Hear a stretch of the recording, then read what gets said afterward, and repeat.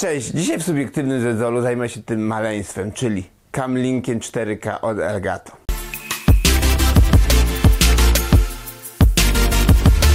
Zacznę od tego, dlaczego Camlink 4K od Elgato, a na przykład nie jakaś kamerka internetowa. Wiem, kamerki internetowe, np. C902 można kupić w dobrych pieniądzach. To jest dobra kamerka i większości osób do streamowania starczy. Tak. Tylko ja kupowałem tego Camlinka półtora roku temu. Gdzie te kamerki w momencie, kiedy zaczęłaś praca zdalna, taki boom na pracę zdalną, wiadomo z jakiego powodu, potrafiły kosztować 700-800 zł. Podrożały praktycznie dwukrotnie. Jedynym rozsądnym zakupem na tamten moment, jak chodzi o kamerkę internetową, była kamerka Brio 4K, która kosztowała około 1000 zł i cena się utrzymywała jej. Była dostępna, była w dobrych pieniądzach, normalnej cenie przed tego, tym boomem. Nawet czasami było można ją kupić w promocji jakieś tam 150 zł taniej niż normalnie wyhaczyć. Ale ja po pierwsze mając aparat G80, dobry aparat, z którego mogę sobie zrobić kamerę, na którym teraz nagrywam, zdecydowałem się kupić tego Camlinka za 650 zł. Powiecie, że dużo. 650 zł, kamerka kosztuje 700-800. Camlink daje nam lepszą jakość dzięki temu, że podpinamy sobie pod to aparat. Aparat możemy lepiej skonfigurować. Balans bieli, ostrość, odpowiednio wykadrować obraz. To teraz przejdziemy do tego, co sądzę o jakości tego wykonania tego Camlinka, czy, czy w ogóle jest to użyteczne urządzenie. Więc tak, jak chodzi o wykonanie, naprawdę jest świetne wykonanie tego urządzenia.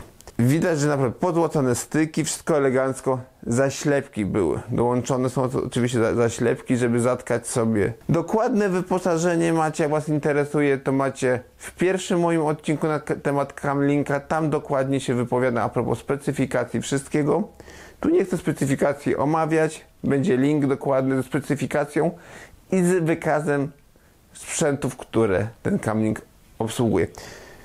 Czy jest użyteczny? Jak najbardziej. Jak mamy aparat fotograficzny dobry i możemy go wykorzystać jak najbardziej. Lepiej coś takiego kupić niż kamerkę internetową jakąś tanią. Ja jedynie co jakbym kupował kamerkę internetową miał kupować to Brio 4K od Logitecha. To nieprawda, że aparat będzie się też przegrzewał. Już od półtora roku używam swojego też tego się troszeczkę obawiałem. Rozmawiałem z człowiekiem, który już od dłuższego czasu też jakieś tam live'y robił, transmisje za pomocą tego mojego aparatu i mówi, że jest wszystko w porządku, naprawdę. Nie ma z tym żadnego problemu, a potrafię ja robić nawet po 6 godzin.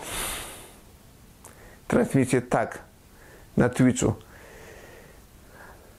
Teraz Wam powiem, do czego ja wykorzystuję tego cam linka. I w ten sposób może Wam za zobrazuję, że to jest urządzenie naprawdę przemyślane, fajnie zaprojektowane i potrzebne naprawdę, Le że lepiej wybrać coś takiego niż kamerkę internetową, jak mamy porządny aparat fotograficzny. Ja go wykorzystuję praktycznie codziennie. Streamuję na Twitchu. Do tego wykorzystuję też kabel micro HDMI, HDMI kabel, bo tu trzeba podpiąć do tego. W aparacie mam micro HDMI. I tutaj chciałem taką małą powiedzieć rzecz. Moim zdaniem nie opłaca się pakować przejściówki micro HDMI na HDMI. Takie małe, sztywne to są. Chyba, że mamy klatkę do aparatu i mamy uchwyt, że możemy włożyć i przykręcić mocno, stabilnie te wejście. Dlatego, że się robi dźwignia i te przejściówki po prostu się uszkadzają.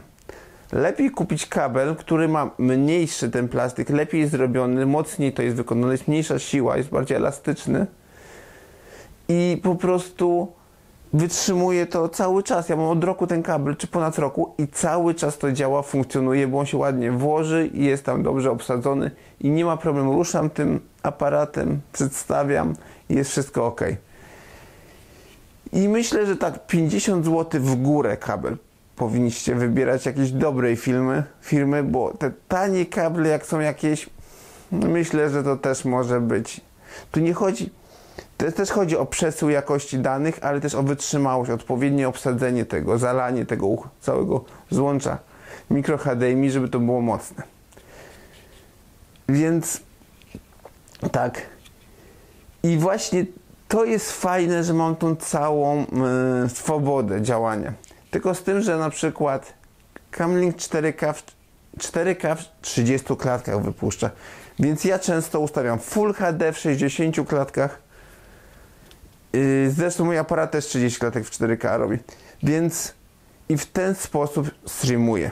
Ustawiam, nawet jak mam obraz w 4K, by miał transmisję, to i tak Full HD to jest 4, to jest jakby 1 czwarta 4K, więc to i tak mam kamerę, a większy przeważnie się nie ustawiamy na, na live, nawet mniejsza, nawet zmniejszamy ten obraz kamerki, żeby to był wyraźny, elegancki. Więc rzadko jesteśmy cali na ekranie, nawet jak jesteśmy, mamy full screen, gdzie mamy czata zrobione na rozmowy, to i tak jesteśmy mniejsi, bo się jakoś tam ustawia różne bariery, rowery. To teraz przejdźmy do ostatniej sprawy. Czy mogę go polecić, tego? Z czystym sumieniem, oczywiście, że tak, mogę go polecić każdemu. Mobilny, mamy na przykład laptopa, gdzieś wyjeżdżamy, mały, zręczny, poręczny. I tak jak mówię, chcecie zobaczyć, co jest w opakowaniu, w zestawie, mniej więcej całe wyposażenie, odsyłam Was do odcinka poprzedniego mojego. Tam jest dokładnie zrobiona przebitka, gdzie rozpakowuję tego kamlinka, dokładnie pokazuję, co w nim jest. I to na tyle powiedziałem, co myślę i naprawdę Algato robi świetne rzeczy. Świetne produkty, które kosztują owszem, ale tu wiadomo za co się płaci. I na pewno to nie jest ostatnia rzecz od Elgato, którą zakupię. To zostawcie łapę, zasubskrybujcie kanał, napiszcie kom- w komentarzu, co wy sądzicie o produktach Elgato na przykład, czy o samym Camlinku, czy o kamerkach intendowych. Porozmawiajmy o tym w komentarzu. I będzie mi miło też również, jak gdzieś udostępnicie ten materiał. Na razie, cześć, pa.